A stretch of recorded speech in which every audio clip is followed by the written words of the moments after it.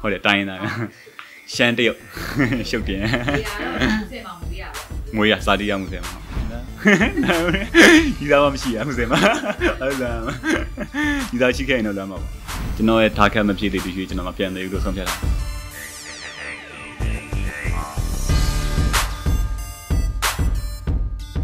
ါဆိုမရှိပဲတဲ့ อืมအဲဘယ်လိုခက်ခဲမှုရှိလဲဆိုတော့ကျွန်တော်တို့နေဘက်ကလူတွေတော်တော်များအဲဟိုပေါ့ဒီဘယ်လိုပြောရမလဲရန်ကုန်ရရန်ကုန်ဘက်ကလေရဲ့လူတွေနဲ့ကျွန်တော်နေရလူတွေနဲ့မတူညီတဲ့တစ်ချက်ရှိတာကြတော့နေရလူတွေကြတော့မှကျွန်တော်တို့ရွှေလီတို့တရုတ်ပြည်ဖက်မှာတွေဆိုရင်အမှ15 16 19နဲ့ကဒီပညာဆိုင်မှာအလုပ်ဝင်လုပ်ကြတယ်ဟိုပညာရေးလည်းတိတ်ပြီးတော့ဟိုပေါ့နော်မိဘလက်အောက်မှာနေတာမဟုတ်ပဲနဲ့ကိုယ့်အကိုဆိုင်ကယ်ကယ်ရီဆွဲစားတာတို့ဟိုအပြင်မှာဟိုဒီဘယ်လိုပြောမလဲနေဆက်မှာဆိုရင်တရုတ်ငွေလဲတာတော့အဲ့လိုမျိုးနှုတ်တဲ့ freelance လုပ်တဲ့လူတွေဆိုတော့ကျွန်တော် grant ကလည်းဟို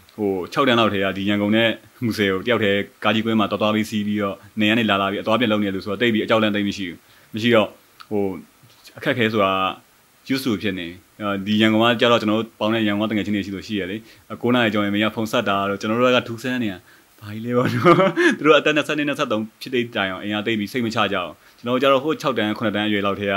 အမေကဂီယူမဆိုင်တာတော့မဟုတ်ဘူးဂျုံကြီးနဲ့စိတ်ချပြီးလွတ်ထားသူသားပဲရောက်ရောက်အရင်တော့ဆိုရင်အမေကအိမ်မပြန်လာသေးဘူးလားမေးပေမဲ့အခုဆိုရင်ဘယ် level ထိရောက်သွားပြီလဲဆိုရင်ရန်ကုန်မှာရှိလာတယ်အခုလောလောဆယ်ရန်ကုန်မှာရှိလာတဲ့ပုံစံအဲ့လိုပဲရန် freelance ဖြစ်တယ်အဲ့တော့ဟိုဘာမှဖြစ်တယ်လွတ်လပ်တယ်ဟာဘယ်လိုလဲဆိုရန်ကုန်နဲ့ဟိုကလည်းမူစင်နဲ့ခုဒီပြန်လို့လို့ဖြစ်တာ6 6တန်းဆိုတော့ကျွန်တော်2006ခု2009ခုနှစ်ဆိုတော့ကျွန်တော်ရဲ့ဟိုပါပေါ့73 74 74 73 74အရွယ်သားအရွယ်လောက်ကပေါ့ဟုတ်အဲ့တော့ လာလေတာလားဘယ်လိုမျိုးကြောင့်အဲ့ဒါလေးကိုပြောပြအဲလာလေတာပေါ့လာလေတာရယ်ပြီးတခါကြာရင်ကျွန်တော်ရန်ကုန်သွားမယ်အဖွားကြီးနေပါသွားမယ်ဆိုရင်အမေကပစ္စည်းပါထည့်ပေးလိုက်တယ်ကျွန်တော်နဲ့အဲ့လိုအဲ့လိုမျိုးလေးပေါ့ပြီးရင်ကိုအိမ်ကအလုပ်တဲ့အလုပ်လေးနဲ့ပတ်သက်ပြီးတော့ပစ္စည်းတွေပါသွားပို့ပေးတယ်ပေါ့အဲ့လိုမျိုးဟုတ်မူစင်မှာဆိုလို့ရှိရင်ရောဘယ်နဲ့ဘယ်လောက်လောက်ဒီအသက်ဘယ်လောက်လောက်ဒီတောက်လျှောက်ပြီးဖြစ်ရလဲပေါ့မူဆယ်မှာဆိုရင်ကျွန်တော်ကဟိုလောက်ထိလေးတန်းလေးတန်းအရွယ်မှာရန်ကုန်ခဏရောက်သေးတယ်ပြီးရင်ကျွန်တော်၈ကို30လောက်ကကျွန်တော်ဒီမူဆယ်မှာပြန်သွားနေတယ်ပြီးရင်10တန်း10တန်းအောင်တော့2020ပေါ့နော်2020ကနေ အဲ2017ကနေမှ2019အစလောက်ထိကကျွန်တော်လာရှိုးမှာကြောင်းတက်တယ်မူစင်နဲ့ရန်ကုန်ဘယ်ကပို့ပြီးတော့နေထိုင်ရပို့ပြီးကိုယ်နဲ့သားကြရတယ်ပေါ့ခံ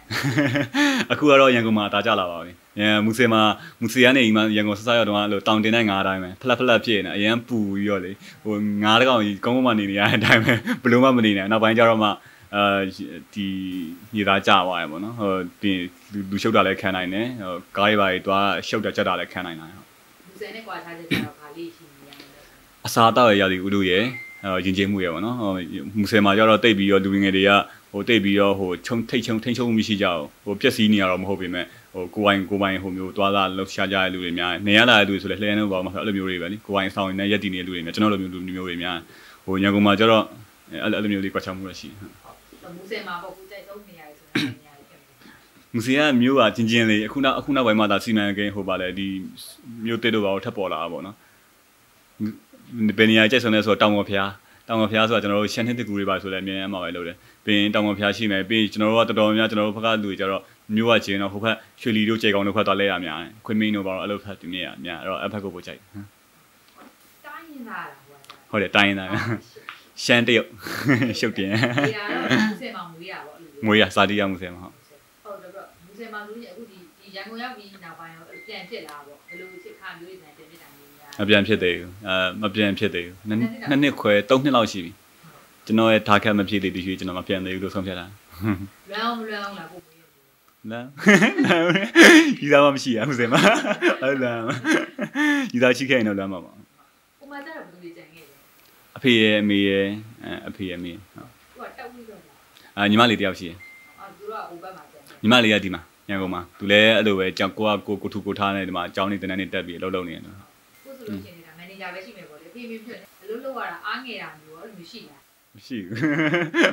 ဘာလို့လဲတော့မသိဘူးမရှိဘူးအဲမပိုင်ပိုကောင်းနေလို့တင်တယ်ဘာလို့ဆိုတော့အဲငွေချင်းတယောက်နှစ်ယောက်လောက်ပဲကျွန်တော် influence လုပ်တာတိတ်မကြိုက်ဘူးကျွန်တော်က suggestion တောင်းရတာပဲကြိုက်တယ်နည်းနည်းလေးပေါ့လိုအပ်တဲ့ဟာပေါ့မှာအဲ ကိုယ့်ရဲ့ acting acting ပြီးရင်အဖြူမဲပဲဟာလှလဲဆိုရင်နည်းနည်းလေးလောက်လောက်ပဲစကားပြောတာမြန်ပါလားမှားပါလားမှားပါပါလားလောက်လောက်ပဲပြောရင်ရကျွန်တော်အရာရာဟိုလိုပြောဒီလိုပြောလောက်တာမကြိုက်တော့အဲ့လိုအဖေမေဆိုလဲကျွန်တော်အတိတ်မထိန်ချုပ်ဘူးအဲအဖေမေပါရင်လူဘိုဟိုလူဘိုရဲမဟုတ်အဲ့လို